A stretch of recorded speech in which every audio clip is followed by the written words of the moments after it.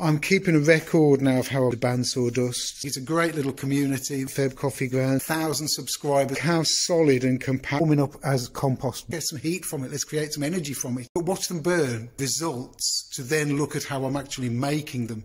There's too much emphasis on making these things and not enough emphasis on how they burn, the heat that comes off them. Hi, welcome back. Um, video on briquettes. Um, if there's one thing that's been going on in my workshop over the last few months that's been really positive, it's been leaving briquettes to mature and uh, it's making a difference. Let me show you. So this is the wall of briquettes. It might look a bit complicated to you. It's not to me. I basically started down there, worked my way around, and as I was going round, I was using the bottom ones up, and I've now reached this point. So they're drying in that order. So the last one's made with those, and the first one's made with those. But I've used two weeks worth of briquettes, and I've got to tell you, they're pretty fantastic. So I'm keeping a record now of how I'm doing the briquettes. Um, today, Saturday the 4th of March, down here. This bucket has been here for four weeks, and it's maturing that's what I'm going to call it. It's getting like compost. It's cold, it's not warm. Um, there's a lot of liquid gone in here in the last couple of weeks from the previous bucket. And what's happening is, as I'm doing this, I'm filling buckets with sawdust and coffee. And when this one's full, as it is now, it's time to start making those. And luckily, going by this batch six, because that's batch six. I started this process a month ago with old water, and you can see one and a half kilograms of um, coffee grounds, two inches of bandsaw dust, 7th of Feb, coffee grounds, 9th of Feb, coffee grounds. You can see what's going on. I'm adding, then I'm adding loads of dust from the work and stuff I'm doing. And it gets to the height that I'm comfortable with in the bucket, and I, and I just stop. So it looks like in total We've got an 11.5 kilograms of coffee grounds, and the rest is a couple of inches, sort of nearly three or four inches of dust. So going by that, it's about 80, 85, 90% coffee grounds. So this will be interesting to do. Those, I have changed the process a bit more. If you saw the first process, I was using pieces of wood. I've now changed the process and I'm keeping them more compact. So um, I'll, I'll do one and I'll show you in a minute. I'll do one, but they are, I'll tell you what the difference is between doing wood and adding coffee. These are twice the weight of the wooden ones. So because they're twice the weight, I know that even the first batch, which was down here before I added these recently, even the first batches down here, which were done uh, beginning of December, beginning of December they were done. Um, they're burning fantastic. They're burning as long as wood. So the next thing I'm looking at is I've got some wooden blocks here, exactly the same size as briquettes, and I'll be able to compare them to softwood. So I'll be able to compare coffee logs to a softwood piece, exactly the same size, and do like for like. So I'm looking forward to that. That'll happen in the next, I don't know how long. But this isn't the best stuff yet. I started down there, and, and as these were going up, these were sitting in the bucket longer. So the real ones that I'm, I'm really looking forward to are week number one. This was the end of the bucket. There's only seven there. But this week, in fact, that's probably the best week to look at. But I want to show you as well inside Hi, if you enjoy this video, please subscribe and like. And if you can buy me a coffee or the super thanks button, which is just below, um, any comments, more than welcome. Uh, I look forward to speaking to you guys. I think it's a great little community we've got here. There's about a thousand subscribers who've just come on through the briquettes over the last couple of years. So I'm grateful to you guys and the woodworkers. I'm grateful for you to sticking with, for sticking with me wood dust is a byproduct of what we do, what we make. We need to think of the best way of using this wood dust without without landfill, without just burning it and going into the atmosphere. Let's get some heat from it. Let's create some energy from it. It is the way forward. Look how solid and compact that is. We get shrink back as the water and moisture comes out of it. As you can see, it dimples in. It's shrinking back, no air, which means it's burning like, in fact, it's burning better than wood. It's burning like a Coalite. It's burning like a solid fuel, which is great. So that's the next thing. Anyhow, I'm going to make a couple and I'll show you a couple being made. And while I'm doing that, I'm getting on with something else. But this is a new part of the process. So the new way I'm doing this.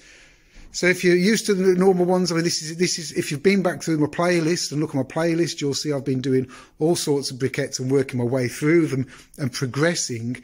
Look how green these are now with the with the mould from the coffee.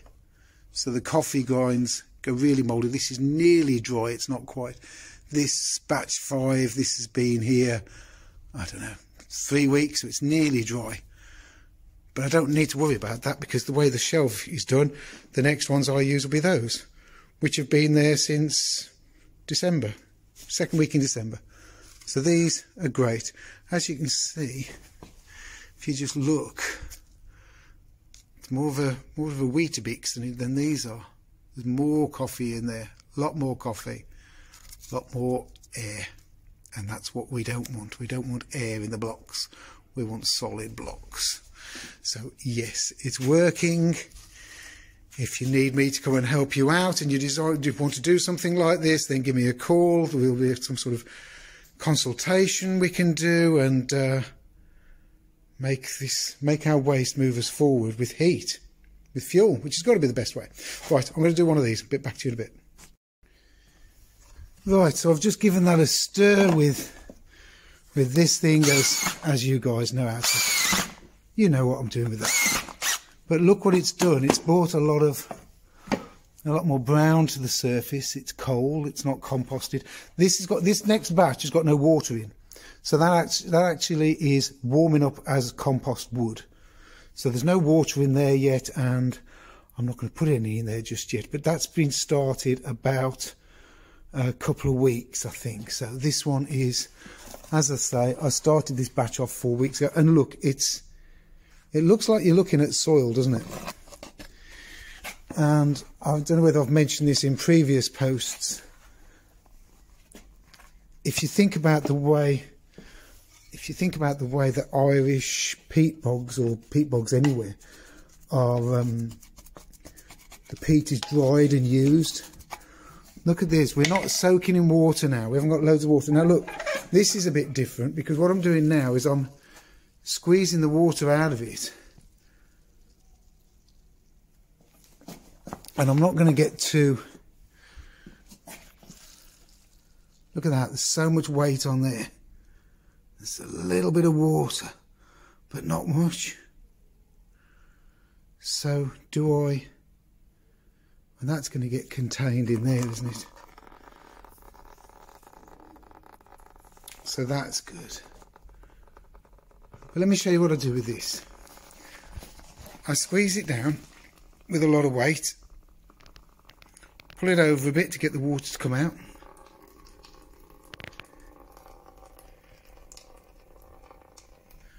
So there's a lot of pressure on there. There's a lot of water come out, but there's also a lot of air come out of there. So now look what I do. Look at this. It's, it is just like coffee. What I do with that is I put it back in there.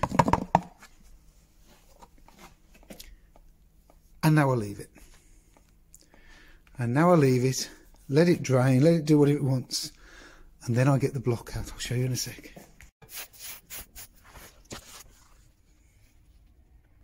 So, a little bit wet. Not squeezing all of it out. Putting it back in, look. That's nice and clean. Comes out easier. The back doesn't break off. A lot of moisture in that. Got a little bit of shavings and stuff around here on the floor by the bandsaw. You know what it's like. Doesn't have to have a bit of dry stuff around.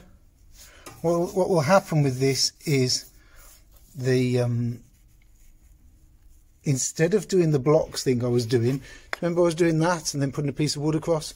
I'm not doing that anymore. I'm now going straight to the block, straight onto the onto there, which means I can stack a couple of those high and it's even pressure throughout. All three blocks that I do, briquettes I do, get the same weight. So it's even compression. Before I was battling trying to get all five in a row with those. If you watch the previous video, then you should watch the previous videos. Um, I was trying to get them all the same thickness and all the same height. And it's just like, now I don't worry about that. You see, these were the days when I was doing that. Look how even those are. And some of those will be really compressed and some will have taken on a bit of air. Whereas now, this newer method, which I've been doing down on this side, they're all compressed with weight on them and there's no, there's no other blocks, there's nothing else. It's just one of those block pavers weight job done. That should come off there pretty good. Yeah, that's right. So that's going to bed into there. That liquid that's in there is going to work its way through. It's not actually going to come out the bottom. I've left some of the liquid in. It's not now about squeezing this as much as you can.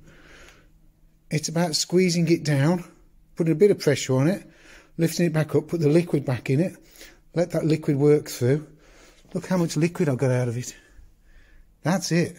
All the rest is in that block and it's going to dry solid. This is the way to do it.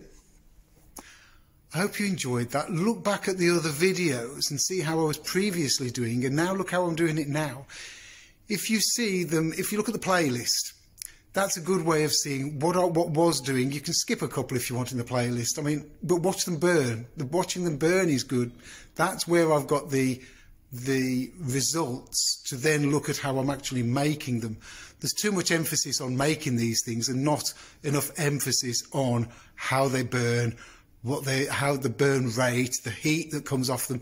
Coffee, without a doubt, is the way to go. Put coffee in it, it burns hotter. But look at some of my previous videos of burning and you'll see that. I hope you enjoyed the video. If you can, buy me a coffee. The super thanks is there. That would be much appreciated. See you again. Cheers.